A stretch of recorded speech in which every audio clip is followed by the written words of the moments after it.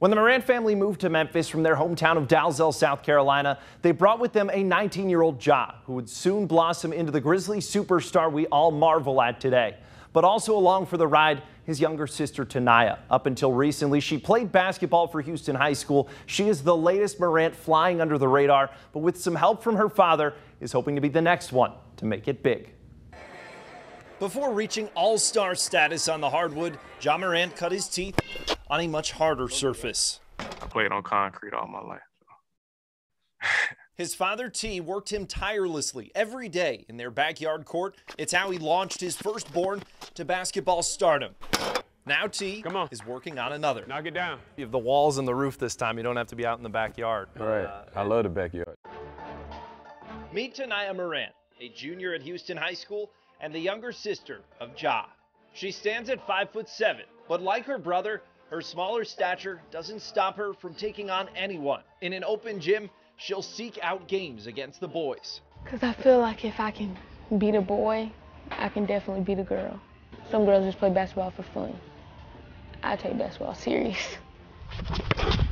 A family trait ingrained in South Carolina. In some ways, Tee says Teniya is easier to coach than Ja. You just can't make a left hand layup. And you make an excuse about it. She would be out in the back working with Ja, but they took it uh, differently. Like if I fuss at Ja, he'll go tell on me. Teniya would be like, oh, whatever, man. You know, she'll have hers and just brush it off. You know, Ja hold his for a minute. Ja was holding a grudge if you were saying something to him? Yeah, he'd be upset and, you know, go tell on me. To your wife? Yeah, Teniya just go uh, go in the house, change clothes, come back out and watch me work the other kids out like, oh well, put her earphones in. I can take it. Ja couldn't? I mean, I, I never knew. I can take it because I know it's just like, you're motivating me to be better. You're helping me be better.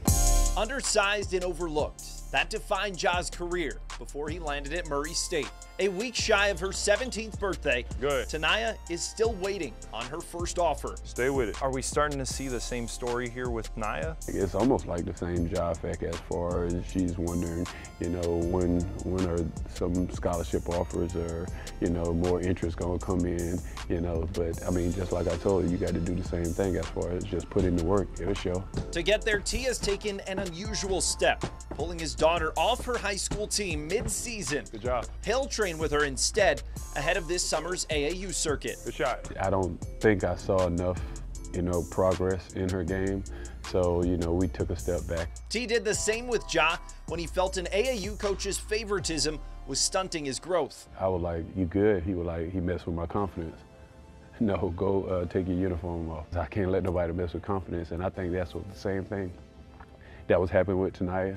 So I saw that cycle again, and I was like, nah, I got to protect her from that. So that's another reason why I pulled her, like, yo, let's put this work in over here so it'll be seen later on. This happened with, with Ja, too, and he's able to get to where he wanted to go. Does that give you like a sense of comfort with what you guys are doing now? He knew it was right in Ja's situation and he knew it was right in my situation. I'm not gonna lie, I was I was losing love for the game playing school ball. It's like I felt like there was no hope in me, but him, my mom, my brother, they all make it known that I can get to where I want to be. I just gotta work.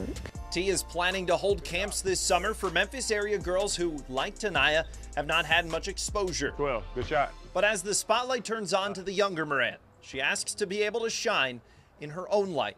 I don't want people to compare me to him just because he's him. I mean, yeah, we work out together, we do whatever together, but like, I'm still my own person at the end of the day. Her path, her story, her turn. In Cordova, I'm Clayton Collier. One. One.